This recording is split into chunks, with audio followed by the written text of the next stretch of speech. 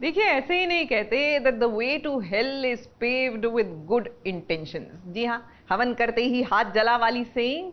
अब हमारी मीत ने इंटेंशंस तो इनकी बड़ी अच्छी थी। कोशिश पूरी की कि इनकी जो ननद हैं, वो जिससे प्यार करती हैं, उनसे किसी तरह इनकी शादी करा दी जाए। लेकिन कोशिश हो गई fail and now with the result Meet और मीत के बीच में जो टेंशन होगी ना, उफ, मत पूछिए।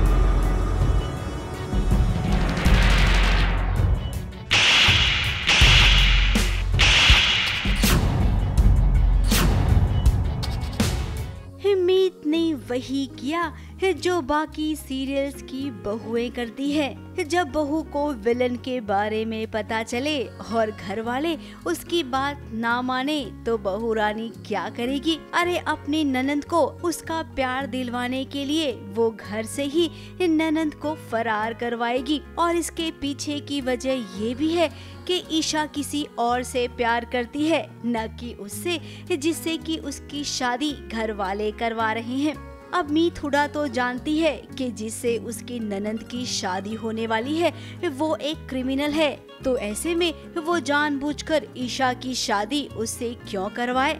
इधर देखिए, मंदिर में वो आ गई है अपनी ननंद को लेकर और घर वालों से चोरी चुपके इधर शादी करवा रही है। It's not a great thing to do लेकिन और कोई ऑप्शन ही नहीं बचा जिससे ईशा की, मेरी ननद की शादी होने वाली है। दो मेरी बहन के जैसी है वो।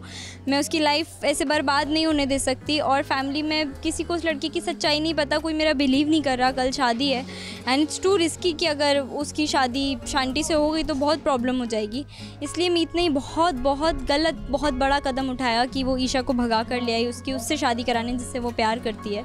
इस शादी होने को ही थी कि मीत अलावत अपनी फैमिली के साथ पहुँच गया और हुआ वही जो नहीं होना चाहिए था।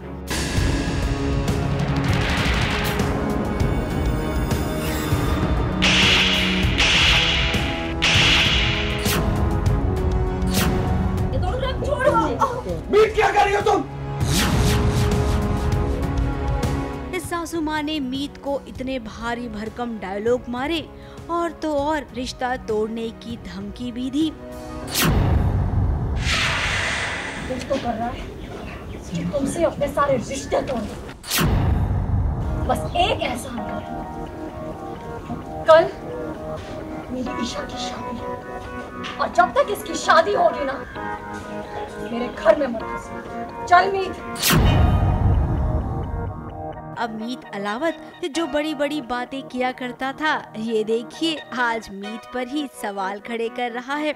यानी कि अब मीत हुडा एक तरफ़ हो गई और उसका पूरा परिवार एक तरफ़।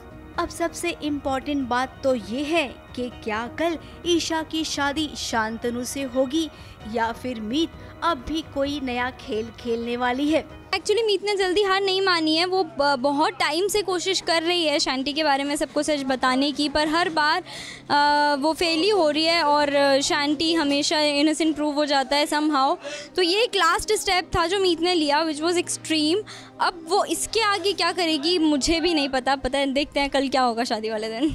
जो भी हो, इस शादी में मीत अलावत और मीत हुडा एक दूसरे के आमने सामने खड़े रहेंगे।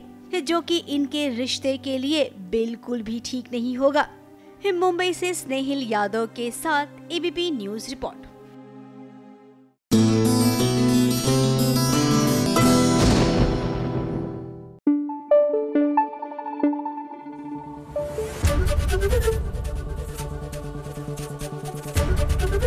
ABP news.